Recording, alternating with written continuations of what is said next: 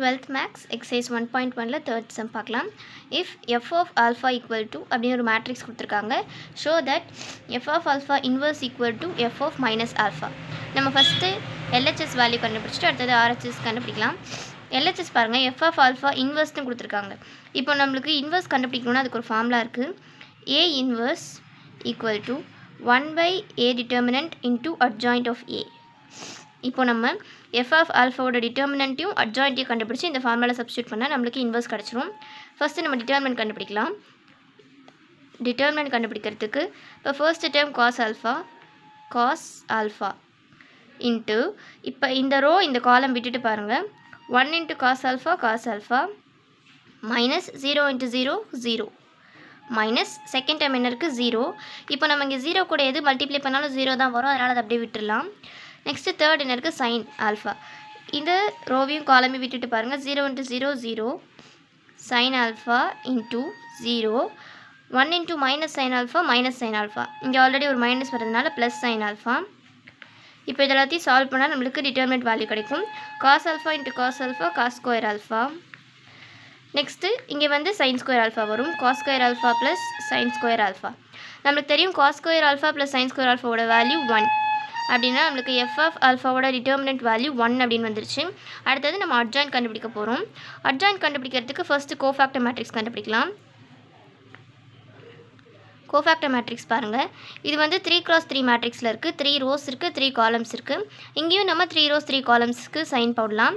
Plus minus plus minus plus minus plus minus plus இப்போது first பாருங்கள் cos alpha first term இந்த ரோவையும் காலமையும் விட்டுட்டோம்னா one into cos alpha minus zero அதனால் நம்ம காஸ் ஆல்ஃபா மட்டும் எழுதிக்கலாம். நெக்ஸ்ட் இந்த செகண்ட் டேர்ம் ஜீரோ இந்த ரோவையும் இந்த காலமையும் விட்டுட்டிங்கன்னா zero into cos alpha cos alpha into zero வந்து ஜீரோ தான் வரும். மைனஸ் சைன் ஆல்ஃபா இன்ட்டு ஜீரோவும் ஜீரோ தான் வரும். அதனால் அங்கே ஜீரோ நெக்ஸ்ட்டு இங்கே தேர்ட் டேம் பாருங்கள் இந்த ரோவையும் இந்த காலமையும் விட்டுட்டோம்னா ஜீரோ ப்ளஸ் சைன் ஆல்ஃபான்னு வரும். அதனால் நம்ம சைன் ஆல்ஃபான்னு எழுதிக்கலாம். நெக்ஸ்ட்டு செகண்ட் ரோவில் ஃபர்ஸ்ட் இந்த ரோவையும் இந்த காலமையும் இந்த ரோவையும் விட்டு பாருங்கள் ரெண்டுமே ஜீரோ வருது. நெக்ஸ்ட்டு இந்த மிடில் டேர்ம் இந்த ரோவையும் இந்த காலமையும் விட்டுட்டோம்னா cos square alpha minus already ஒரு மைனஸ் இருக்கிறதுனால ப்ளஸ் ஆகிடும் sine square alpha cos square alpha plus sine square ஆல்ஃபாவோட value one வந்துடும் டேரெக்டாக போட்டுக்கலாம்.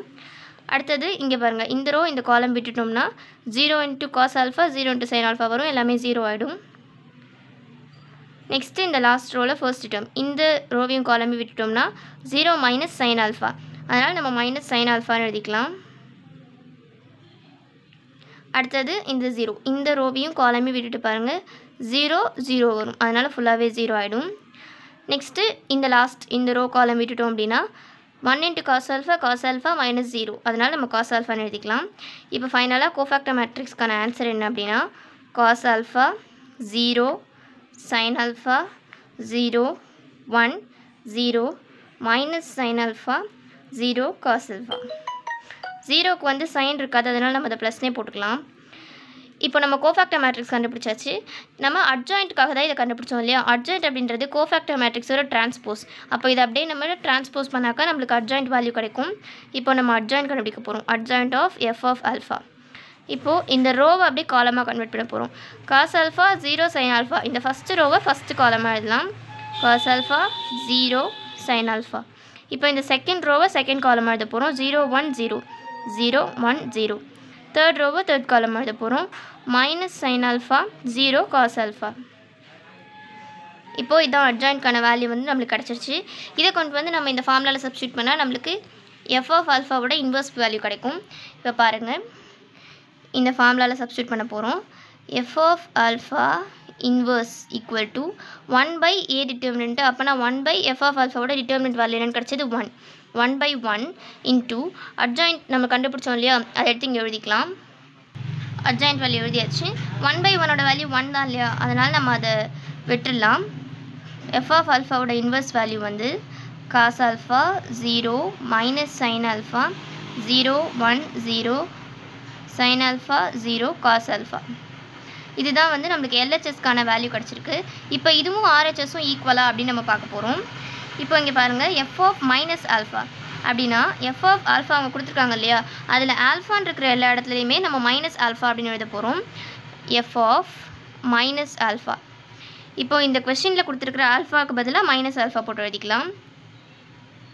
அப்படின்னா cos of minus alpha zero sine of minus alpha zero one zero minus sine minus alpha zero cos alpha minus alpha.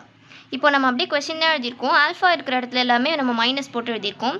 இப்போ இங்கே பாருங்கள் நம்மளுக்கு தெரியும் cos of minus ஆல்ஃபாவோட value cos alpha sine of minus alpha minus sine alpha இது வந்து உங்களுக்கு தெரிஞ்சிருக்கும்.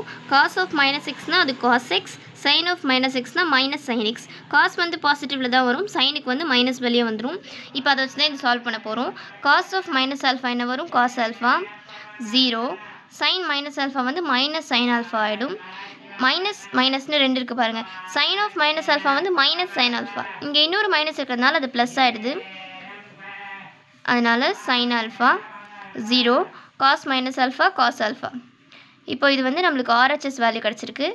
LHS RHS ஈக்குவலாக இருக்கா பாருங்கள் ஈக்குவலாக இருக்குது ஹென்ஸ் ப்ரூவ்ட்